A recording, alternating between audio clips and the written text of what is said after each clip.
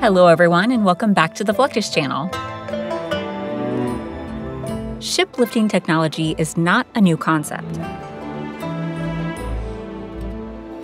But in China, it has become central to the country's inland waterway development. Traditionally, when ships encountered large differences in river elevation, locks were used to gradually raise or lower vessels.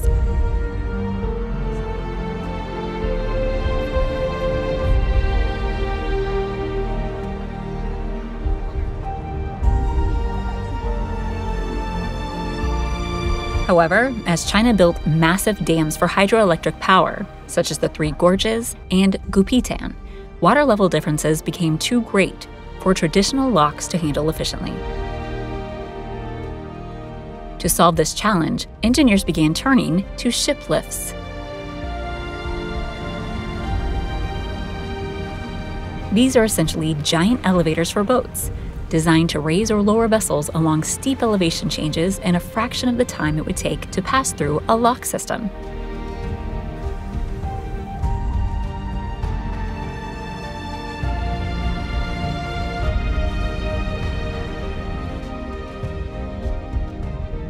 China has emerged as a leader in this technology, constructing some of the world's most advanced and ambitious lifts to keep its rivers navigable despite massive dam construction.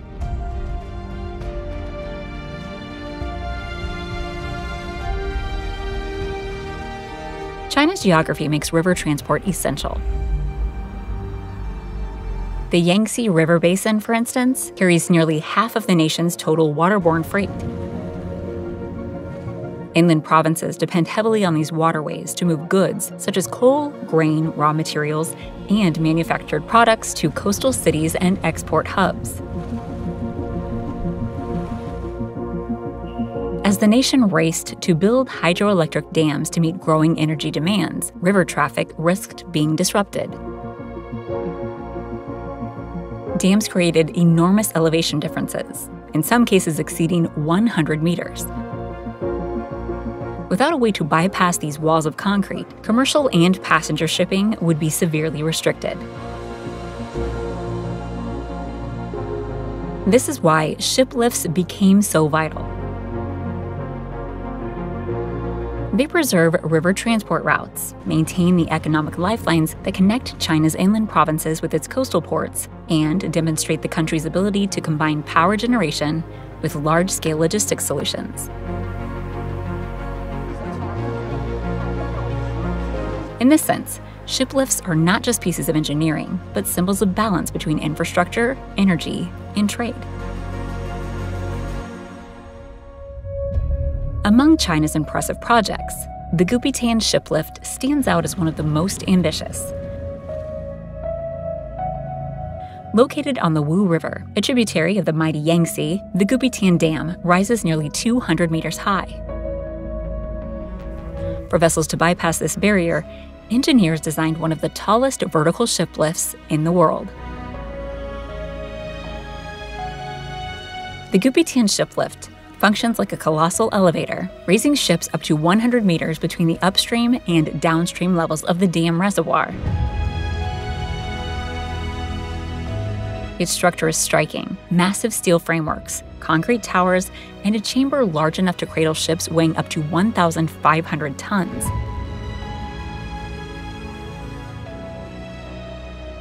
It is often described as crazy engineering because of the sheer scale and precision involved.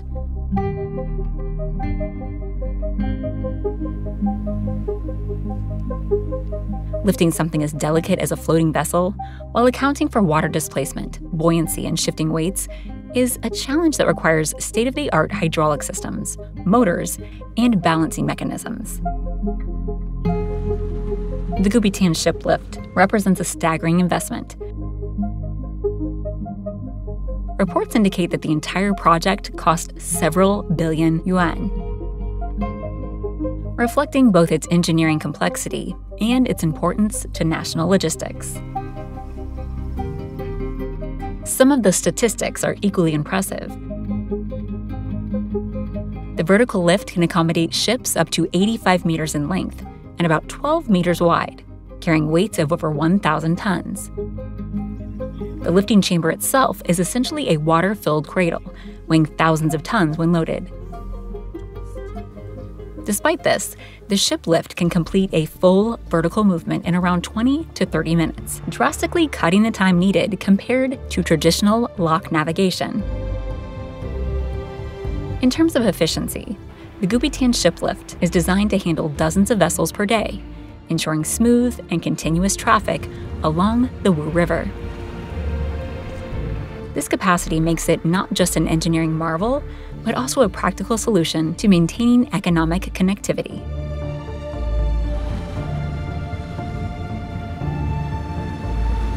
For a ship captain approaching the Goupitan Dam, the process is both surreal and seamless. Vessels sail into the massive steel chamber, which is already filled with water. Once the ship is positioned and secured, giant gates close behind it, sealing the chamber off from the river. From there, enormous hydraulic pistons and counterweights spring into action. The entire chamber, complete with the ship and its surrounding water, begins to rise vertically. Engineers design the system with incredible precision, ensuring that the lift remains balanced despite the thousands of tons of shifting weight. As the ship ascends, it feels like being inside a giant elevator. Windows and access points allow operators to monitor the chamber as it climbs steadily up the towering structure.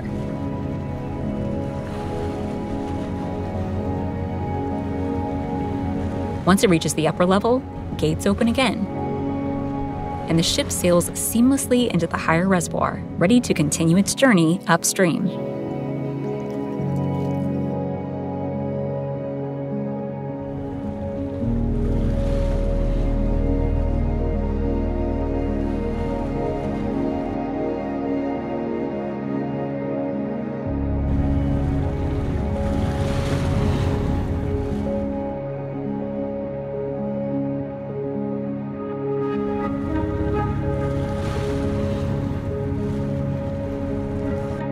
The reverse process works the same way for vessels heading downstream.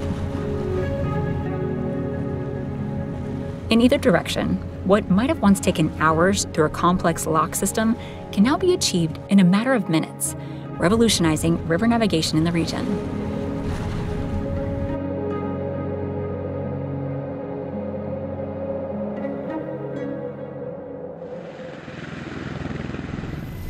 The U.S. Navy employs some unique and advanced engineering to accomplish its missions while sailing around the world. When the aircraft on a carrier are not in use, most of them are secured in the hangar bay.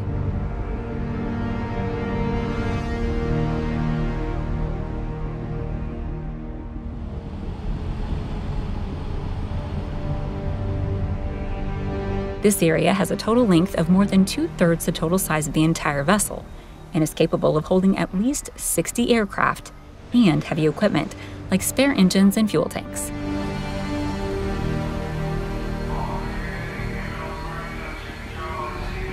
Basically, the hangar bay can be considered as a giant garage for fighter jets and helicopters.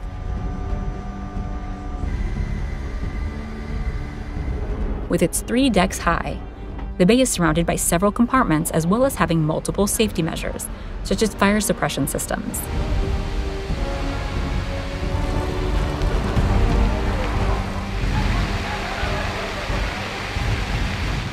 To move the aircraft to the flight deck, the crew uses spotting dollies, which are three wheeled vehicles similar to tractors with hydraulic arms at the front. They help to maneuver the jets through the tight spaces of the hangar bay with precision.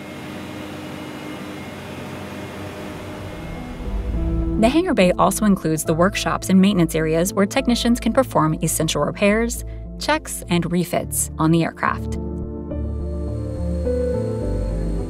Critical components of the aircraft, like the pressurization systems and oxygen to the ejection seat, are under constant inspection and upkeep. This forms part of the preventative maintenance programs that are regularly performed However, the training of the crew not only involves prevention, but corrective maintenance, fixing specific problems like malfunctioning parts replacement or patching damage sustained during a mission.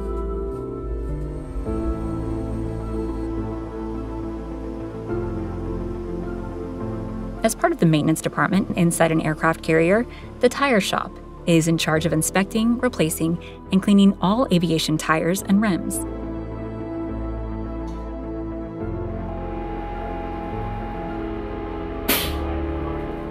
The trained crew members inspect the treads of the tire to see if the part needs to be placed into a beyond capable maintenance status, meaning there is no chance of repairing the tire.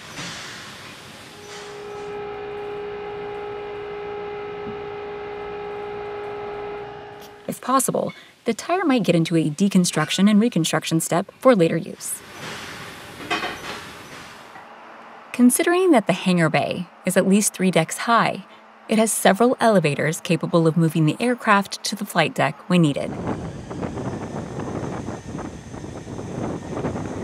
These powerful hydraulic elevators can generate enough force to lift two fighter jets, or a total of 74,000 pounds. They are crucial for moving the aircraft when launching and recovering quickly and efficiently.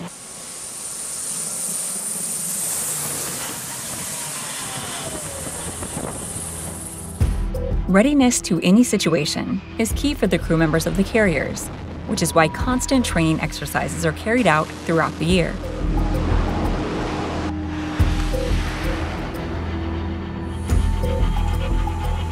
Inert training bomb movement is done from the magazine to the flight deck during flight operations.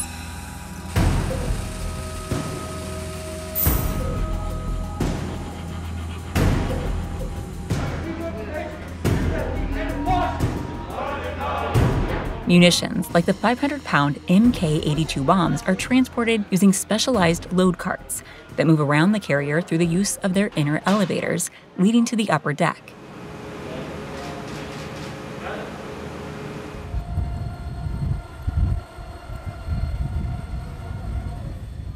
Then the munition is transferred into lift trucks for loading the aircraft. Being a training exercise, the bombs contain no explosive material, but an inert one to keep with the original weight of service ammunition.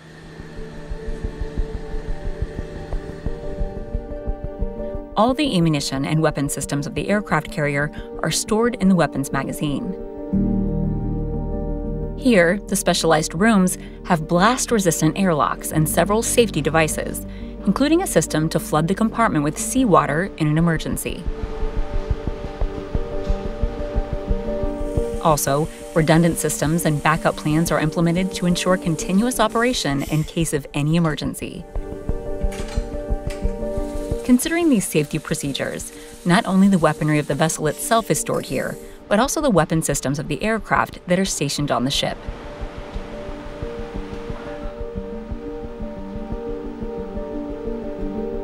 Some examples include rapid fire gun ammunition, air to air missiles such as the Sidewinder missile, air to surface missiles, such as the Maverick missile, Mk 46 ASW torpedoes, and anti ship missiles, such as the Harpoon missile. During naval operations, the aircraft carrier magazine is used to manufacture ordnance for the ship. This vital process works like an assembly line in a factory, where the highly trained crew members build the ammunition to be ready for the mission.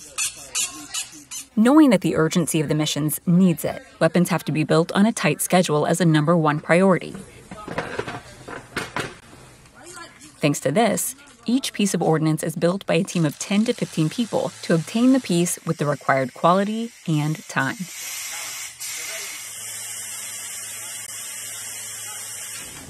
Such quality results from constant training and several certifications obtained by the team members.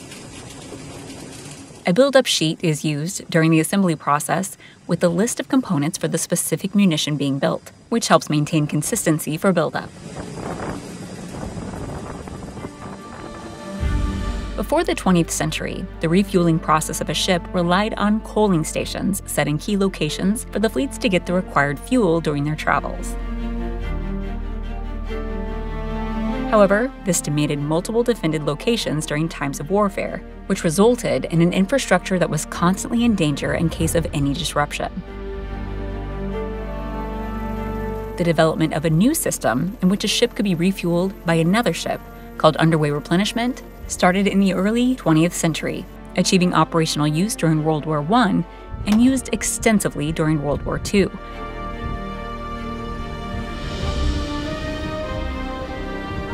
After this period, the alongside connected replenishment method was created to transfer liquid fuel as well as ammunition and goods between ships.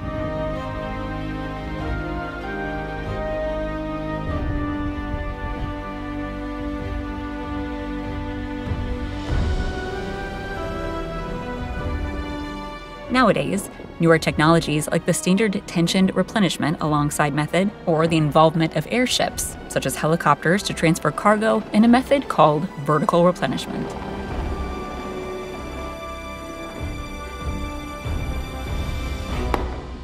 The refueling process requires using a span wire fueling rig that extends the hose from the delivering ship to the receiving ship at a safe distance.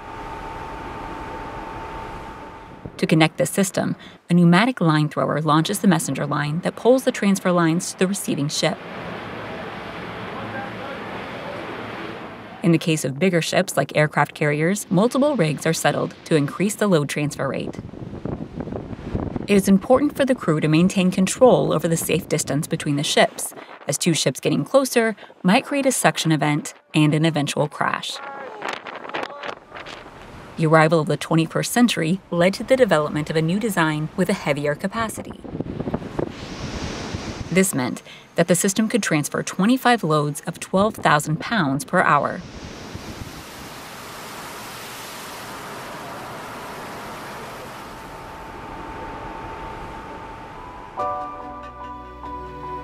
In the end, both China's ship lifts and the U.S. Navy's carriers highlight humanity's ability to tackle enormous challenges with ingenuity and scale.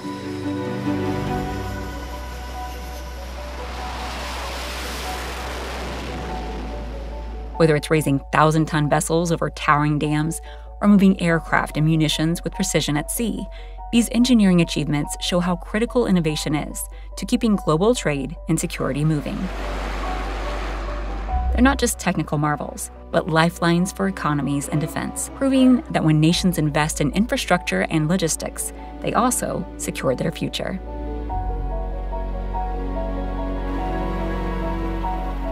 That's the end of this video. I hope you enjoyed it. Make sure to subscribe to this channel so you don't miss any of our new content. See you next time.